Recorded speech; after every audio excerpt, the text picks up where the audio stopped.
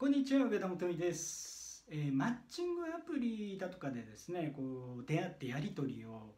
始めてそして実際に会う前にですねこう声を聞きたいとか、えー電話で話してみたいとかね。まあ、アプリによっては、えーそのアプリ内でしか、えーやり取りがメッセージの、ね、交換しかできないっていうものもありますけれど中にはその通話機能があって、えー通話もできるという場合もありますし、まあ、そういった、えー会話をねしてみようと相手から誘われるっていう場合もあると思うんですよね。でこういった時にどうしたらいいかというのが今日のお話なんですけれども、まあ、結論から言うとですねもしそのあまり電話が得意でないんであれば、えー無理に、えー電話会話をする必要はないんじゃないかなと思うんですよね。中にはですねそのやり取りの時は盛り上がってたんだけれども実際にこう電話で話してみたらですねうまく話せなくてその後のこうやり取りもぎこちなくなってですね、え会うところまで、えー行けなかったという場合もあります。まあ、せっかく出会ったのですから実際に会って何か合わないなと思ってやめるんだったらまだいいですけれど電話がうまくいかなくてですね会うまでいかなかったといった場合に後悔する可能性がありますのでもし自信がないのであれば、えーあえてね相手からこう誘われたとしてもうんまあ電話会話はねあの苦手だからということで、えーお答えしていいと思うんですよね。えー3つ、えーポイントがあります。え相手とその電話で話す時の、えーポイントなんですけれど、まあ、1つ目はですねえー相手とこう声のトーンを合わせるということなんですよね。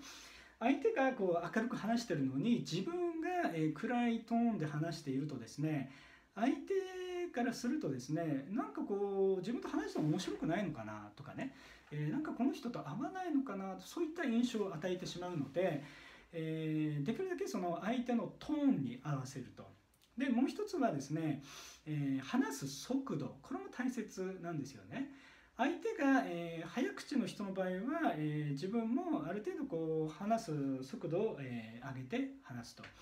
え逆にですね相手がこうゆっくり話しているような、え感じの方であればですねその話す速度を自分もゆっくりにしてあげると。そうすることによって、え相手もこう安心して、会話も、えー弾むとですから、えー声のえートーンと速度っていうのは非常に、えー大切です。で3つ目これがちょっとね、えー大変なんですけれど、えー相手がよくこうお仕事の話をしたりとか趣味の話をした時にですねえどんなお仕事をしてるんですかとかね例えば相手から自分はこういう仕事をしてるんですよとかこういう趣味があるんですよって言った場合に、えただねあそうなんですかって言ってしまう方非常に多いんですよね。でそういうふうに「そうなんですか?」で終わらせてしまうとですねその後の会話も続かないし相手はやっぱりこう自分に対して興味がないのかなっていうふうにネガティブに感じてしまうものなんですよね。ですから相手が、えまあ、趣味でもいいんですけれどそのお仕事でもいいんですけれど、えそういう話をしてきた時に、え質問したりとか、え自分もそれ前から知りたかったんですとかねやってみたかったんですっていうことで、え興味を示してあげるということなんですよね。で、えそういうふうに合わせていったら、えずっとねその後も合わせていかないといけないんじゃないかって思われる方もいらっしゃるんですけれども、え初めの段階はですね、えそこは合わせていいと思うんですよね。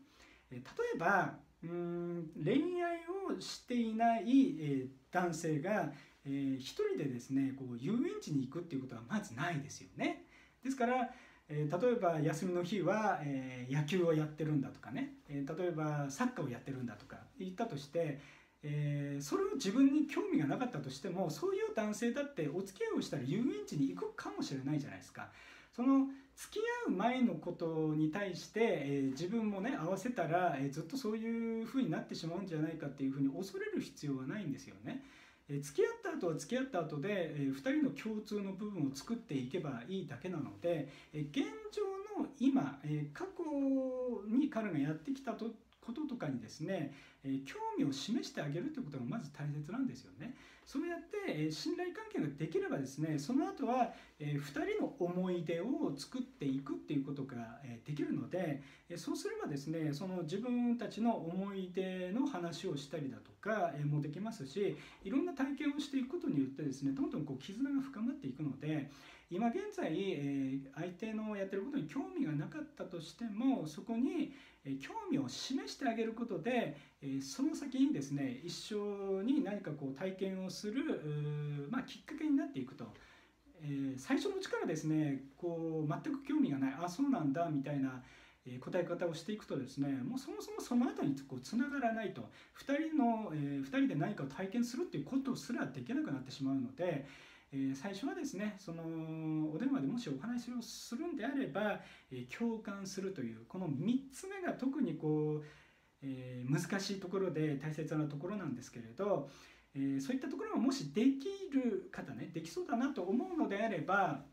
え、会う前にこう電話で話すことによって、え、もっと相手のこう気を引くことができますから、えまあ、できそうだなと思う方はですね是非挑戦してみていただければと思うんですが、えもし、まあ、そこはちょっと難しいなと思うのであれば、えまあ、私はあの緊張してしまうしねあまり電話に慣れていないので、えまあ会う前はそのや、えメッセージのやり取りだけにしたいですっていうことを正直にお伝えしたらいいんじゃないかなと思います。